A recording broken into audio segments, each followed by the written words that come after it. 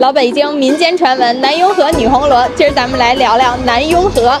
白话讲，男性同胞要有什么要办的事儿，就来雍和宫求。为什么这么说呢？雍和宫是康熙赐予雍正的福地，后来九子夺嫡，MVP 雍正称帝后才升级成了宫殿。而且乾隆据记载也出生在此地。雍亲王府内有红丽的洗三盆儿和胤禛的锦袍木兰花，都值得一看。两个男人后来都成为了皇帝，都跟住在这里息息相关，所以就意味着这里是男人的风水宝地，容易有仕途。很多人都慕名而来，来雍和宫求法物。雍和宫的手串是最多人求的，您求完了记得开光。很多商界人士、政界要员、一线大明星都去雍和宫祈福，可见雍正前底的的确确是龙潜福地。当然，信则有，不信则无，相信自己才是最重要的。点赞关注，带您了解北京。